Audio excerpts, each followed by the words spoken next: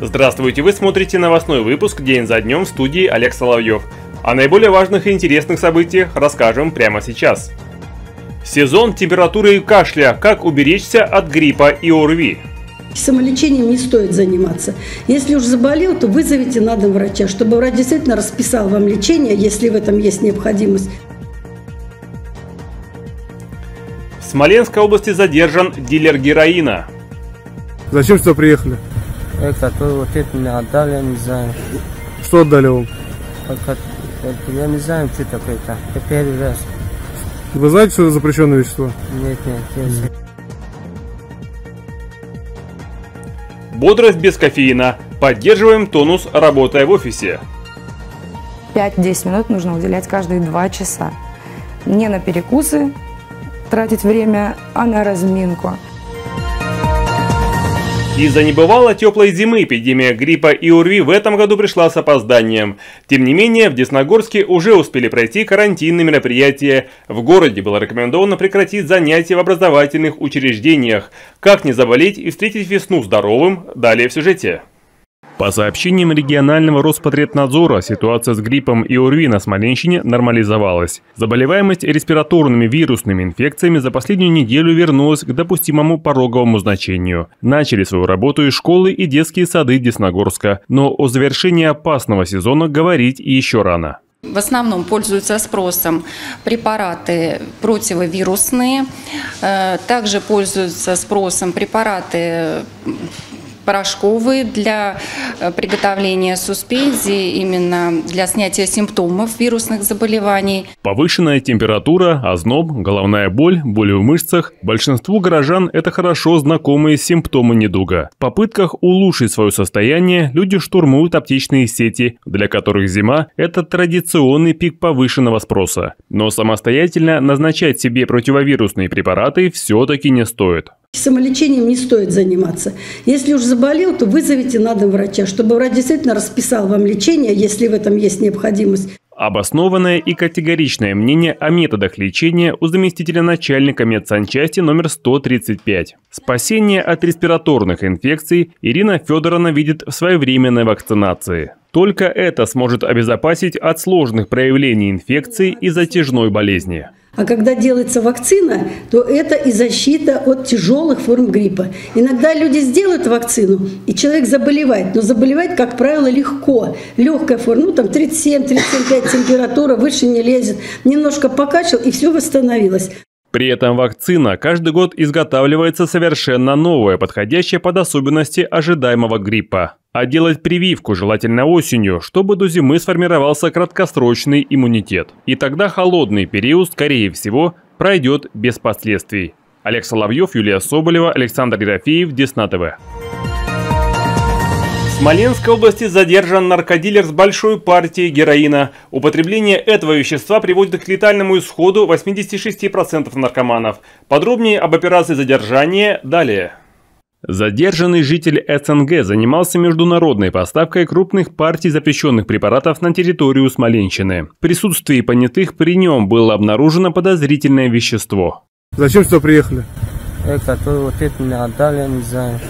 Что отдали вам? Как я не знаю, что такое-то. Это первый раз. Вы знаете, что это запрещенное вещество? Нет, нет, знаю. Молодого человека 1998 года рождения задержали на одной из улиц Сафонова в момент осуществления закладки. Таким способом он намеревался распространить по области 90 граммов героина, около 100 предварительно расфасованных разовых доз. Часть вещества уже была размещена в тайниках на территории города. Места тайников обнаружены, а наркотик изъят.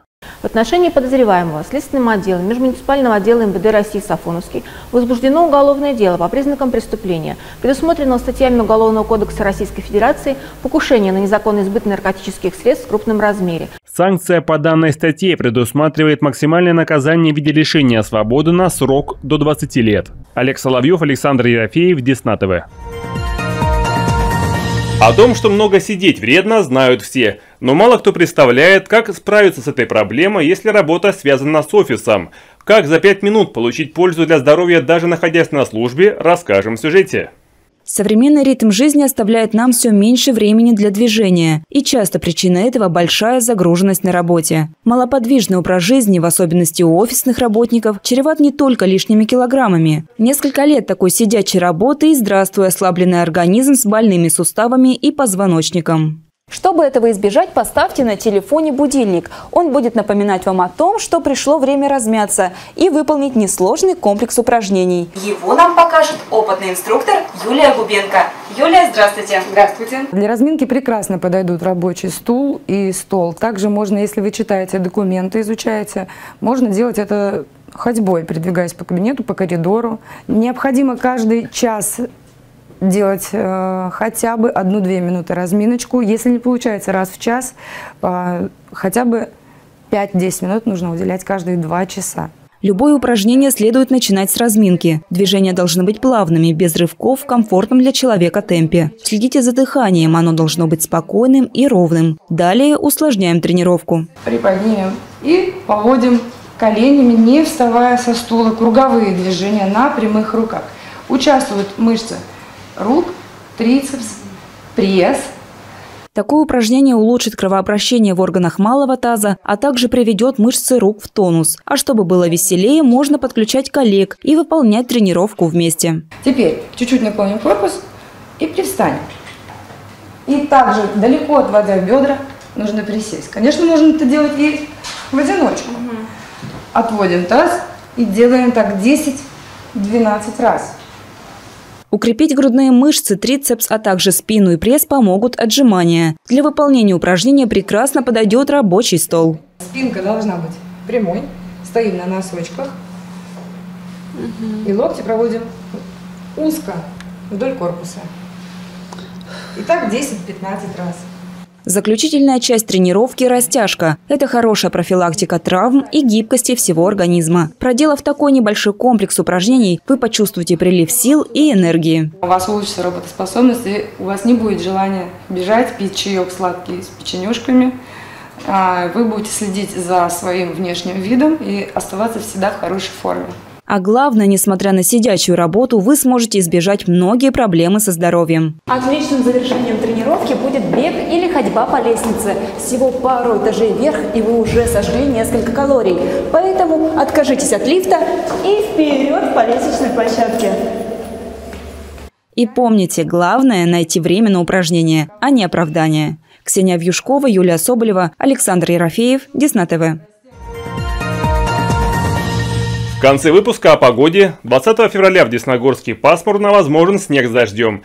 Температура днем плюс 6, ночью около нуля.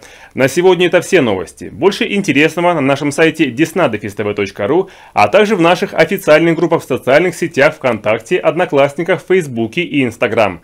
В студии работал Олег Соловьев. До новых встреч!